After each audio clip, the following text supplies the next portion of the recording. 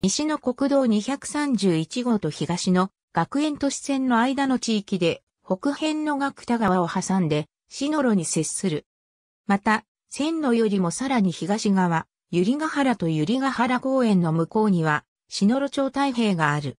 元は、全域が、篠路町太平だったが、町名変更の結果として、飛び地のようになっている。古くは、篠路村の列列府と呼ばれた地域である。1937年3月3日、地形が平坦であることと、大きく平和に発展することを記念して、太平と解消した。また、太平洋にあやかった名称でもあるという。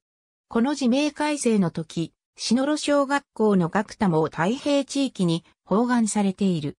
札幌市への合併とともに、篠路町太平となったが、学園都市線以西の住宅地は1986年以降に全時住居表示が行われ、太平城町名へと変わっていった。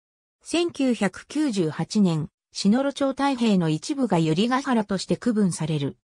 総務省、総合通信基盤局電気通信事業部電気、通信技術システム化番号企画室、市外局番の一覧、総務省、P1、2016年5月4日閲覧。ABCD、札幌地名校、P55、ハット AB 札幌市、住居表示実施地区北区。ありがとうございます。